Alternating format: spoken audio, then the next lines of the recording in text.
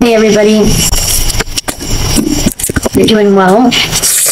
Um, I felt the need to share with you guys a download that I received um,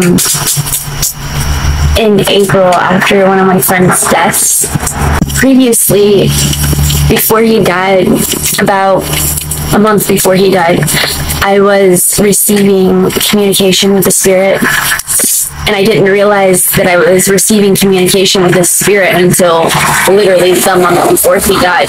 Before that, I was getting the communication, but I didn't know who this communication was coming from. But anyway, after he died, that spirit that was helping me process my emotions with him um, was then also working with his spirit to help me finish out understanding this whole concept that I'm about to explain. So they wanted to show me in all these different ways how we take on people's energy because it's such a hard concept to fortify in our brains, right? Like we can understand it and then we can understand it on a different level, but then we sometimes forget what we had understood previously and have to keep repeating this fucking loop and doubting yourself over and over again, right? the first spirit wanted me to dig into the Medusa. It says to me, if you think of Medusa, who has snakes on her head, which scared people so bad that they turned to stone. Medusa inevitably thought that she was bad and hid herself because she didn't want people to hurt anymore. I was shown a vision after I asked, Who am I? of a little girl with glasses and pigtails. I seen the little girl I then asked, Well, who are you? Someone else appeared who had, she had like a crown on her head that had horns, like that, right? She appeared, also felt her energy, and it felt strong. She was so freaking beautiful, and you could tell she was just fierce and ferocious, that she was gonna stand up and fight for everything that she thought needed fought for. Um, and this lady replied to me, That is you. Who is also me. And at that moment, huge, and I mean huge, I mean like blinding, huge light rays started just piercing from her eyes, from her head. Like her whole body was just light beams coming out of it.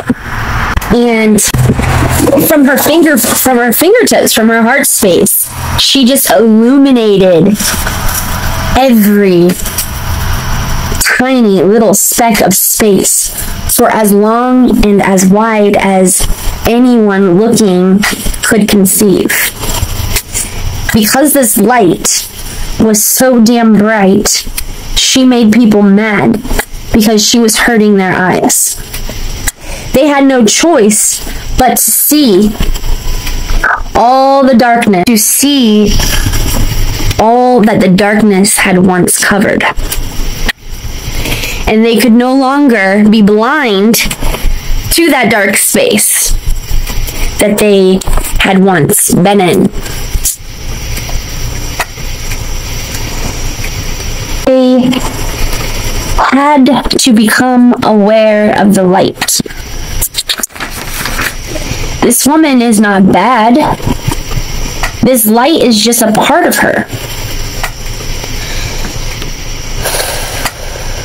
Like the feet are a part of your body, you wouldn't get mad at anybody for simply using their feet and walking away.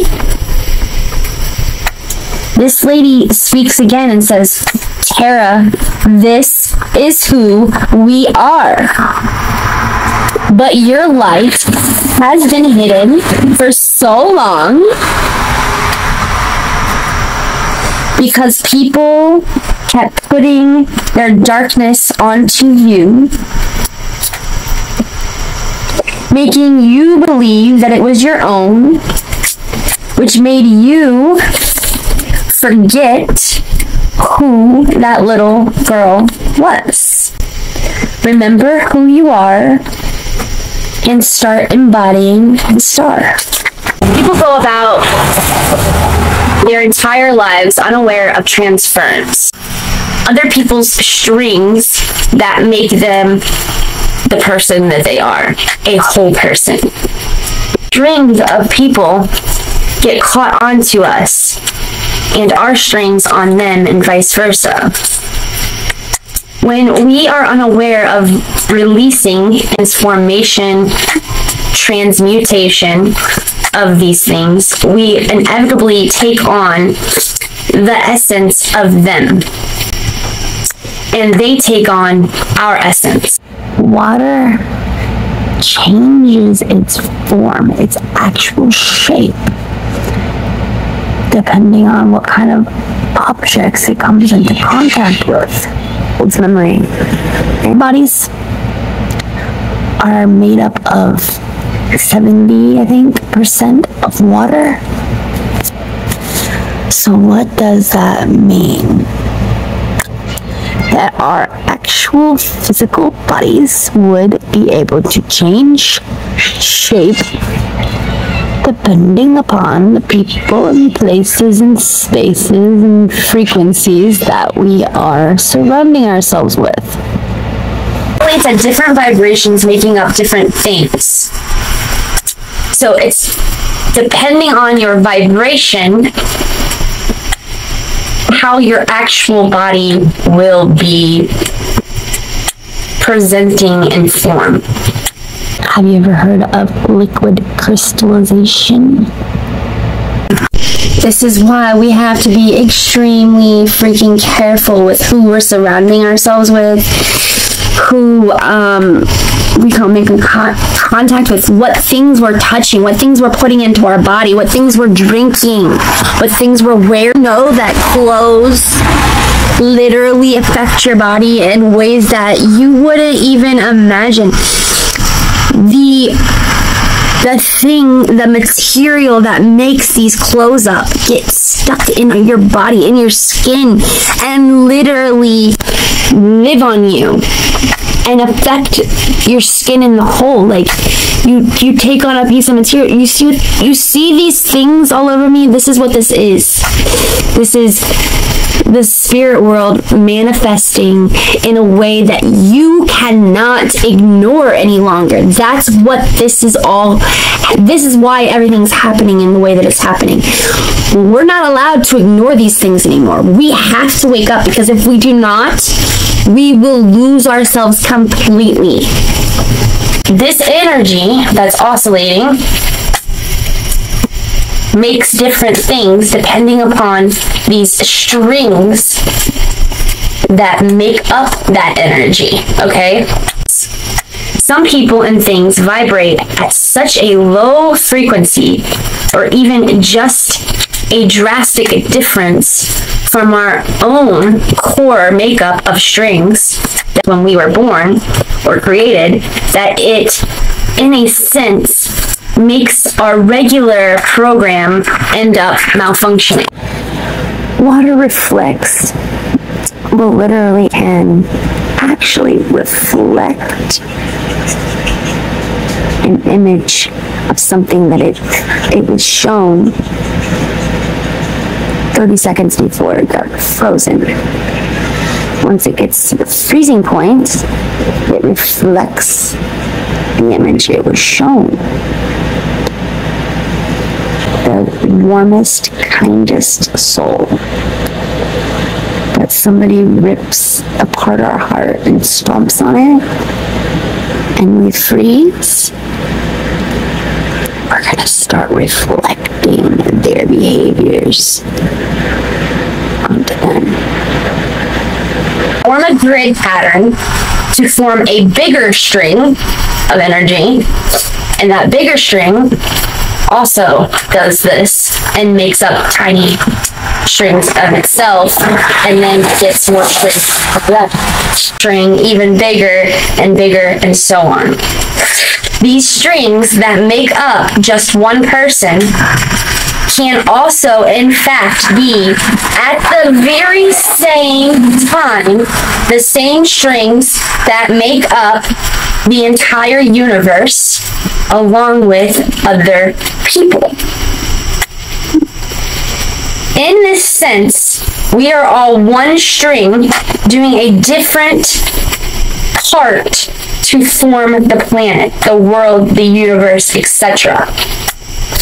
All things are connected, some small, some big, all just as important because without the one, there wouldn't be the other, no matter how good or bad that one might be.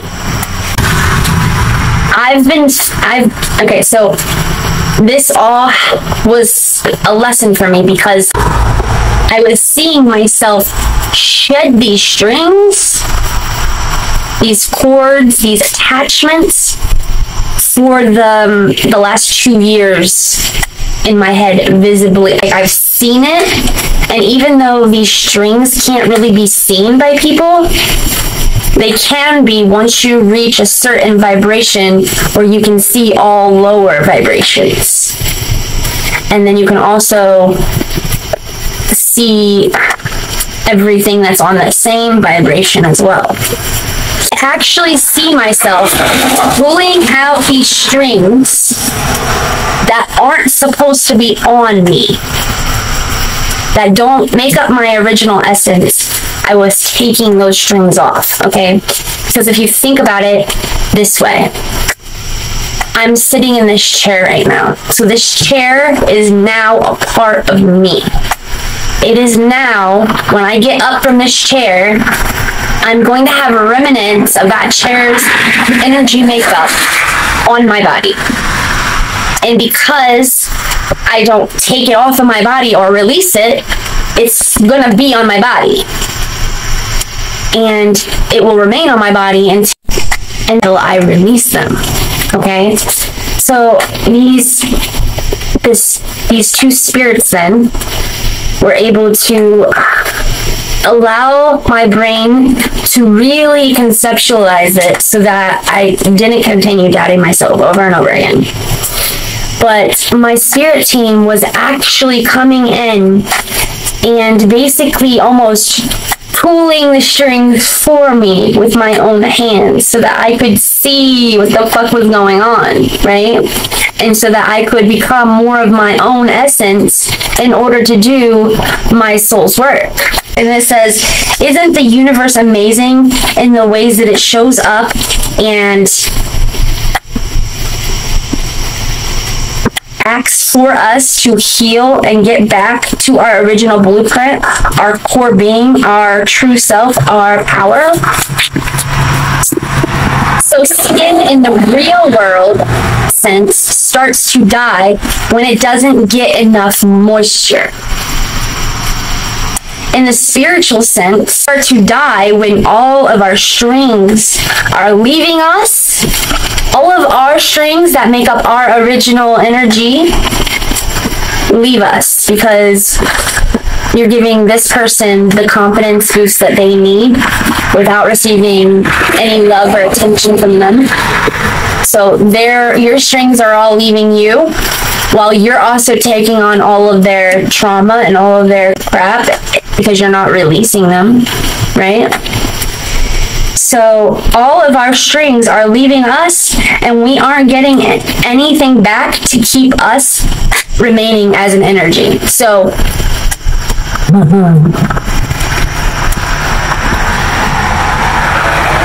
So essentially, we give out all of our strings that make up who we are as a person. Tara, my myself is Tara. Myself as Tara has these chords, these strings that make chords that make the bigger Tara, the body of Tara, right? But when I give out all of my strings to people so that they can feel love and they can feel special and they can feel good about themselves, but yet I'm not releasing their core, I can still be alive, but no longer myself. I'm essentially the makeup, I'm made up of them and them and them and them because I gave out my power. I gave out my strings to my birth parents and I gave out my strings to my adopted parents and I gave out my strings to the fucking eight boyfriends that I've had. You know what I mean? Like every time you're giving out love and attention, you're giving away your strings. But you're in that relationship, you're connected to that person, so you're also becoming made up of their strings you lose your own strings completely and just become them. You're no longer you. So you're here, you're you're a physical being on this earth, but you're no longer you. You're something else. You're made up of many different things that are not you at all. You died. You, as you, the one that was created, the one that was born, the one that was birthed in the beginning, is no longer that. It's all these other things, all this other crap, all this other trauma, all this other turmoil, turmoil. So, what are we doing? Like, how do we get us back? We start releasing them. We say, I love my birth parents. I could understand the mistakes they made because they were taking on energy that was not themselves. But I don't have to keep them on me anymore. And I don't have to let them keep my love anymore.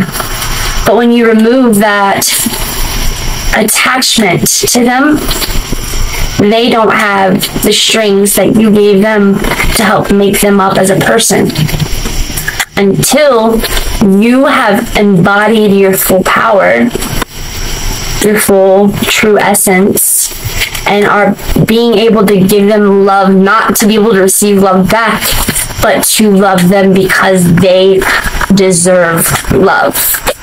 When you love them because they deserve love, when you love them because you recognize yourself in them, that's when you can help them go and retrieve the pieces of their own being back to them and help them release the strings that they are not supposed to be holding on to. Our strings are our on tonic, I said, to the higher realms, our home. And when our strings get clogged, when we lose touch with our body as a whole and with our powers and our ability to get, we lose our ability to get home and back safely.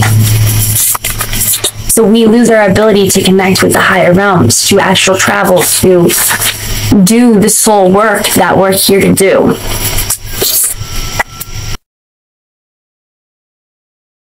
One part of the world needs to evolve or shift vibrations. The universe, the knowing of all things together in one,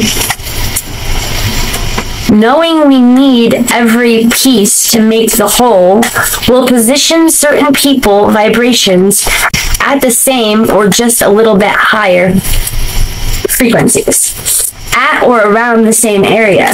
We position ourselves in a grid pattern in order to have an effect on all of the other strings in the middle and outer parts of the grid. Kind of in a grid like this.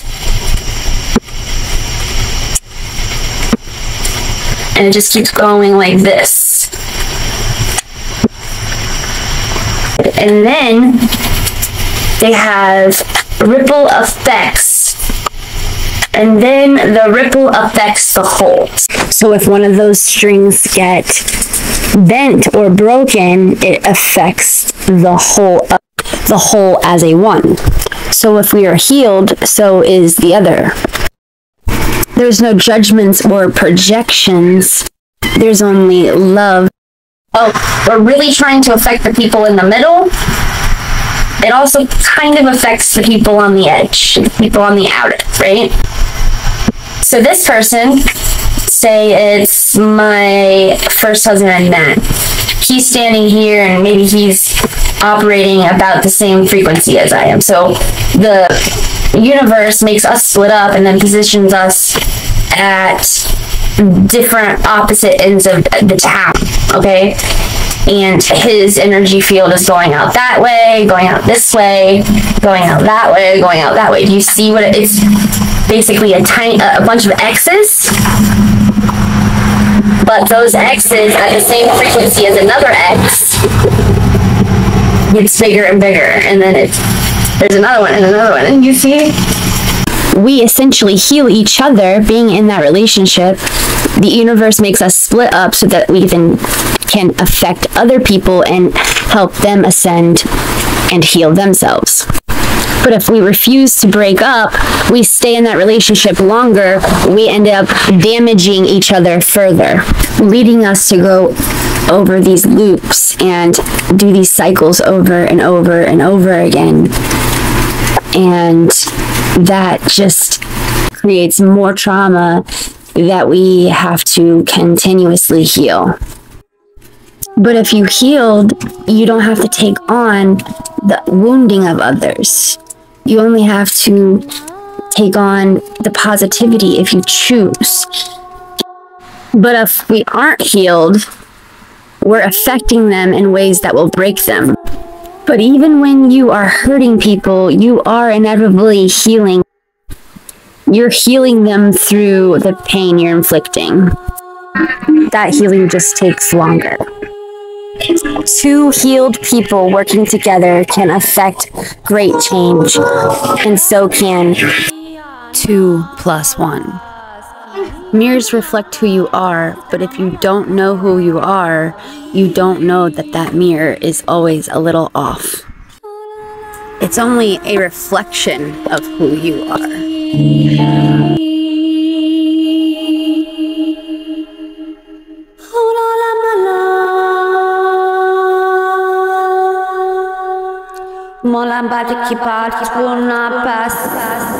Pasti.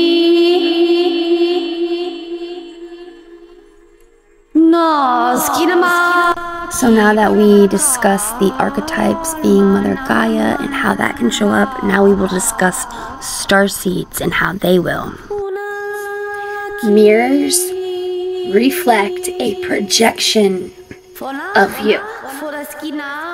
Stars. What if babies consist of not only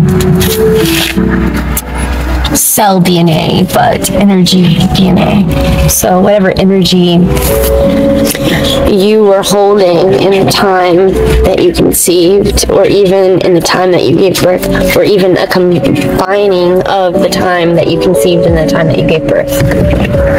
So depending on the people that you're around during those times, or the people that are in your space, or even the spaces that you allow yourself to be in, you're taking on those energies, and therefore, when you are pregnant, your baby also takes those on.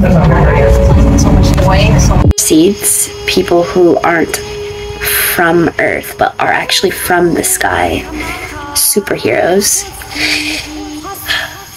Not from Mother Gaia, which are archetypes like Lilith.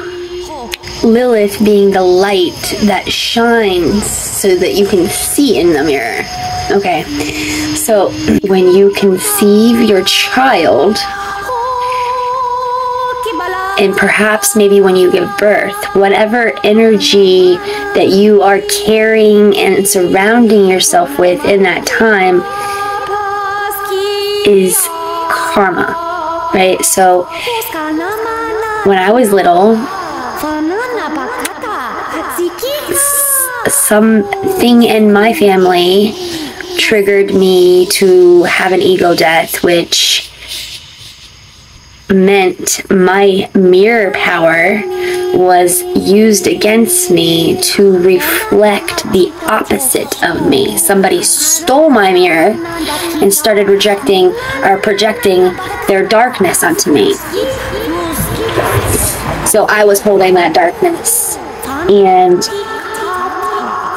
spreading that darkness unknowingly because people kept seeing this projection that I wasn't and thinking I was something that I wasn't. And they would then in turn keep hurting me, which only further left me in more ego deaths, which eventually there was nothing left. And I became a pure vessel of whatever. At that point, you have to have a soul review, and at that soul review, you have to decide are you going to work for the good or are you going to work for the evil? Are you going to help people through love or are you going to help people through pain? Now, at this point, I think is when this happens with your children. So, when both parents have already had so many ego deaths that they had their final like soul review and they had to make that final decision good or bad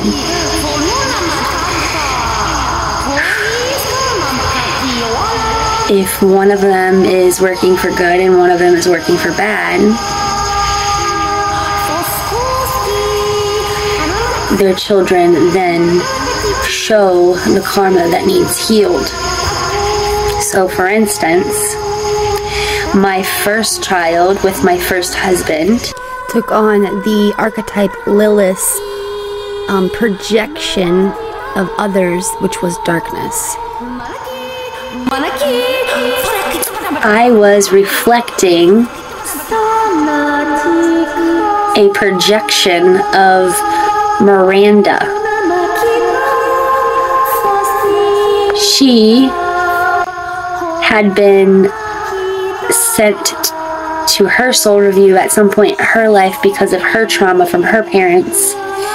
And she then hated me because I was still carrying that light that she had been had that had been stolen from her. And so she, who was originally Medusa, scared people off and turned them into stone because of the snakes on her head, then becomes the projection of them, which is a narcissist. Even though that's not how she's actually showing up, that's just how they're seeing her. And now they hate her. So she lost touch of her inner self, her inner child, her little girl with pigtails and glasses. And the light of that archetype, which is which is um, Medusa, Lilith, the people that shine that light on the darkness, was then also turned against me, and she then stole my mirror to get her mirror back so that she could project her darkness and all of the darkness that she accumulated along her path onto me. So then I started spreading that unknowingly because I didn't know that I was reflecting this because I wasn't aware of this. And even though this wasn't who I was and it wasn't the actions that I was taking, it made me appear to others as dark. And so they continuously would treat me bad, thinking that I was dark, even though I wasn't acting dark and didn't know I was appearing dark, I created Brianna. Who wants nothing to do with me because of the way that people see me and the way that I appear. Kaylee is Superwoman who uses her rope to draw in the truth which was just be, be because you have confidence doesn't mean you lack virtue. During my pregnancy with Kaylee, the truth was drawn in, and I had to eventually heal that. With Jackson, the energy was blood sucking vampires and now he carries the energy of Batman, the bat who has sonar powers and can hear frequencies that the normal ear can't hear. Jackson as Batman illuminates all that is hidden. You begin to lose completely all faith and hope in humanity. And Liam Spider Man, flinging his spider webs for good and for evil. And the latest is my Emmy Bug, and she, with the others, we were both vessels at this point because we both had our ego deaths. I'm a vessel of spirit, he's a vessel of spirit. One for evil, one for good, one for love, one for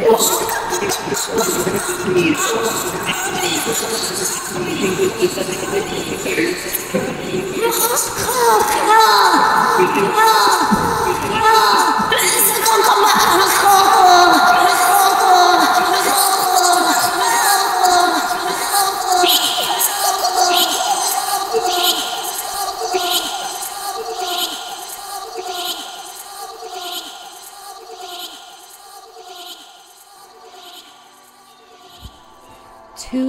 vessels of spirit, no matter good or bad, holding space as a bridge for other people to cross into New Earth if they so choose to do the work.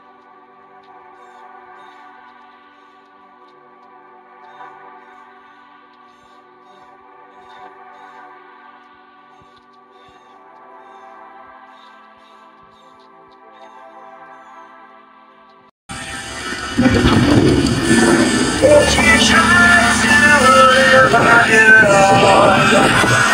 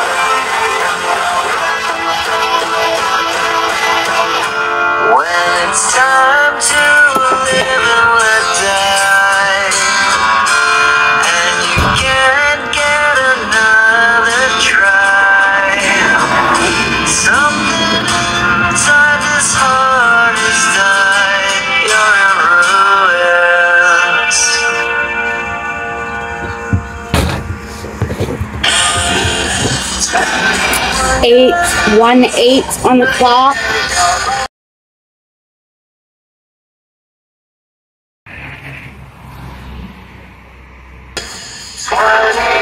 Which comes down to a number eight. 21 is 22. 22 being a master number.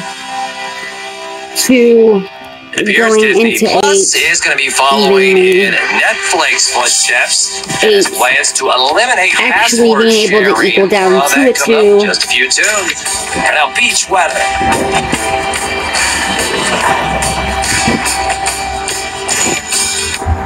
Late the wallflowers I know. Out the dark, into light. You, you, you're done. You are at that end of the cycle.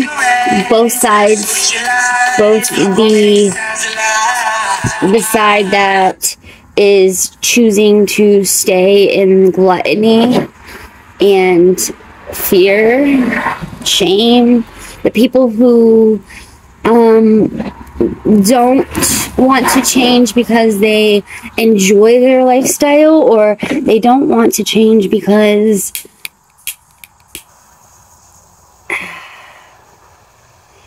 because they're scared. But there's it's it's not even that they're not getting you know a fair chance. It's they're so scared because they've allowed themselves to sink and sink and sink and sink and never had the strength to stand back up. Um it's like it's time now. New earth is here. The worlds have split. Those who have chosen the higher unconditional love path will now be on an entirely different planet than those that refused.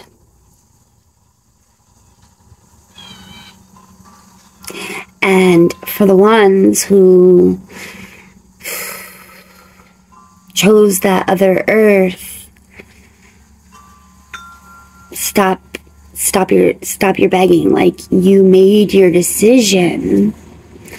You can't continuously make the same mistakes over and over again, saying every time that you never put into in in the work you never put in the work of trying not to make that mistake again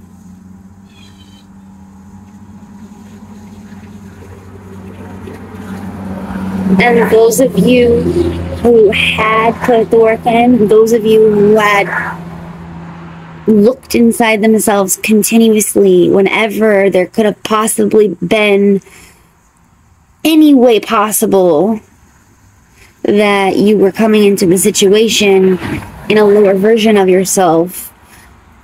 You guys are in your error of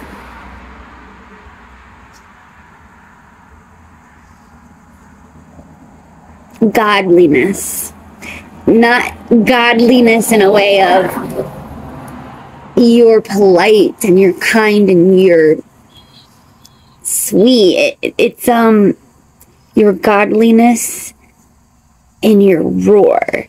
That person who everybody is not only excited to see um praising or um bowing down to, or at least feeling as though they need to bow down to because they um, treasure that person, but you're also going to be the person who people are afraid of and they cower to.